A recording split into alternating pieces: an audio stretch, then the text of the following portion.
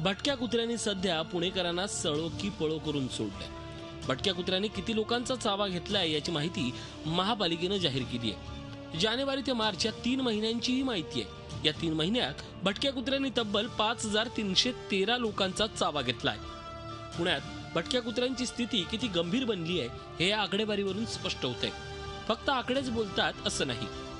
तर नागरिकांच्या मनात देखील भटक्या कुत्र्यांची दहशत पाहायला मिळते.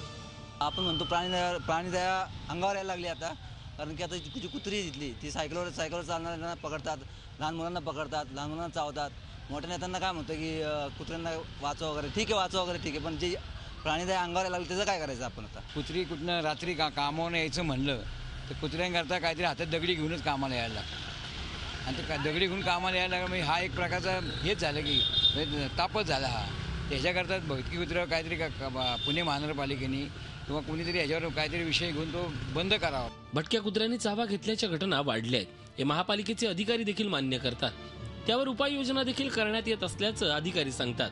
महापालिका अधिकारी काहीही दावा करत असले तरी आकडेवारी वस्तुस्थिती सांगून जाते.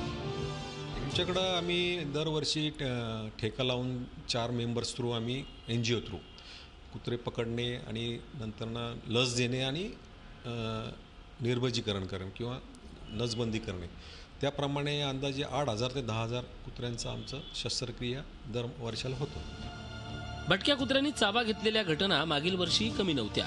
गेल्या वर्षी शहरात तब्बल अठरा हजार पाचशे सदुसष्ट नागरिकांचा कुत्र्यांनी चाबा घेतला होता. पुण्याच्या रस्त्यावर साधारणतः पन्नास हजाराहून अधिक भटकी कुत्री असल्याचा अंदाज आहे. त्यामुळे नागरिक हैराण महापालिका हतबल आणि भटकी कुत्री मोकाट अशी परिस्थिती निर्माण झाली. Nitin Patankar Zee media Pune. Zee चोवीस तास. रहा एक पाऊल पुढे.